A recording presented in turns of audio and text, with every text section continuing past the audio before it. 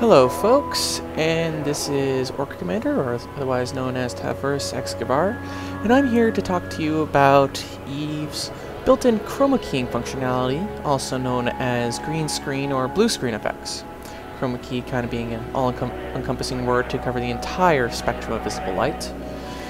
But, it is not exactly easy thing to pull off. Now, the first thing, now why would you want to actually uh, use chroma key? Well, chroma keying will allow you to replace the backgrounds surrounding your toon and your character portrait or your no, right, right here, this character portrait, or you can create uh, it in the entire full body view, which I'll bring up really quickly here. So, you can replace, uh, if it would just load quickly, so you can replace this entire gray background with a green screen. Now, green screen is primarily used with uh, digital medium, while blue screen is with analog traditional film. That being that blue is less variance in color and, and higher in precision on the analog film, and green, especially when it's RGB values, is straight 255 green is a lot harder to come across, so you're less likely to get uh, important bits matted out. Now, we go into portrait mode. You can also replace this, but that's a separate process that we, I will be going into shortly. So, the first thing you need to do is you need to go into your escape menu, uh, and then you go to display and graphics. Now, lots of stuff here, but then you get to take a quick peek at my settings. But uh, right here under miscellaneous, that is where you need to go. Enable green screen portrait background. Turns the background in the character creation and recustomization as well as the character preview window. Green is in order to allow players to easily remove background from screenshots. Yes, you can remove the background. Much, much more easier because you can just select a single color to remove.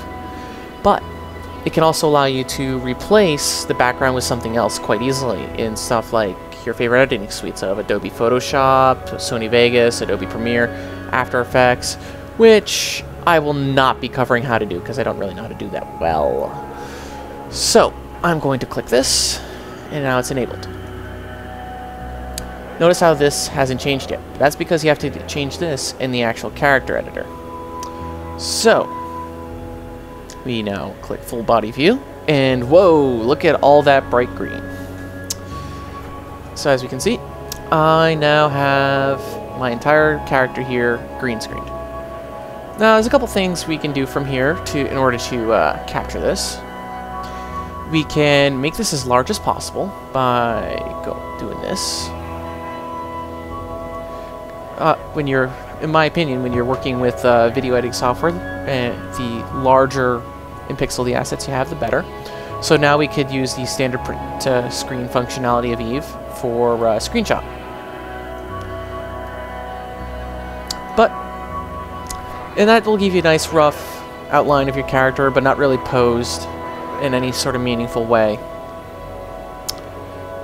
So, we don't need this window anymore.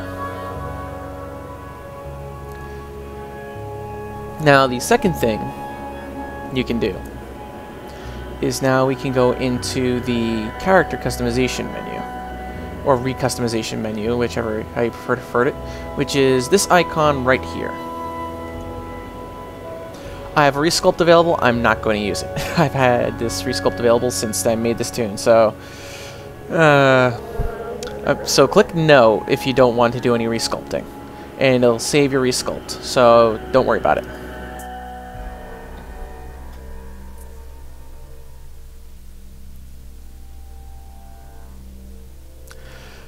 Yep, so yep, we left the green screen enabled, so we have none of the background stuff here. Now, this isn't really the screen we want, although if you want to mess with your character's wardrobe, feel free to. What we want is the next menu, so we click next. And now we're in the portrait studio, I like to think of it, like a photography studio. So you can adjust your lighting, you can adjust your poses to various defaults, but look at this we have the entire green screen here, but we have our background blocking it. So, we need to go all the way back here. All the way down to background 1. I just wish that CCP would implement a better system for cycling these. It's rather annoying. And they also needed highlight that somewhat. Okay, so now we click this. Beautiful. We now have a completely green screen background, although it looks like their art department still needs to work on the fidelity of some of these assets. There should not be a giant hole there.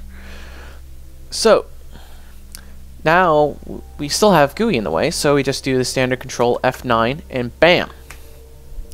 We now have our character with no GUI, except maybe my mouse cursor, and a full green screen background. And he's well lit, so we can hit the print screen button, get our screenshot.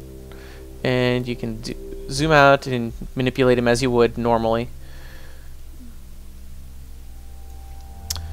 And bring Control F9 to bring it up again. You can play around with the poses, do what you wish. I'm not going to judge what you decide to do with this. Now, now we don't want to click finalize because most likely you are already uh, happy with your uh, portrait already. So we don't want to mess with that. So we'll just click the back button. This will bring us back to this menu and back again. And we got our, our trash changes warning. And of course I'm going to click yes. And now we're back in our station.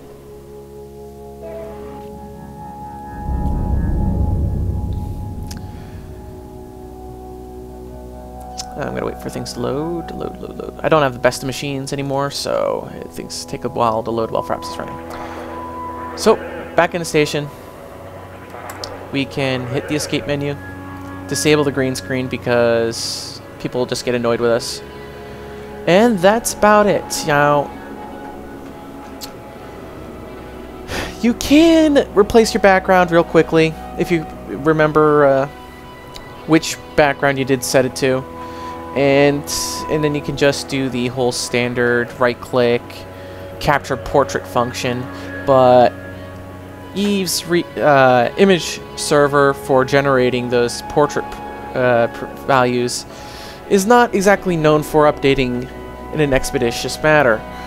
So you, you might have to wait a few hours in order to be able to actually capture a photograph that way with uh, with the green screen actually being there.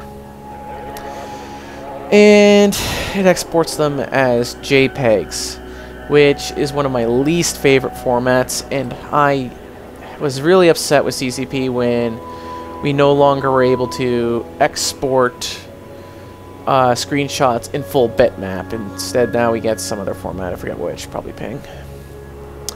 So, that wraps up on uh, my little tutorial on how to enable chroma keying for your EVE Online portraits. Uh, feel free to comment on it on this video if you want to sit, think of something better on how to do this way, because this is the most this is a fairly roundabout method. I but what can you do? It's not like uh, we can export our character models and have them full rein in 3ds Max or something. Alright, so fly safe folks, and I'll talk to you again sometime soon.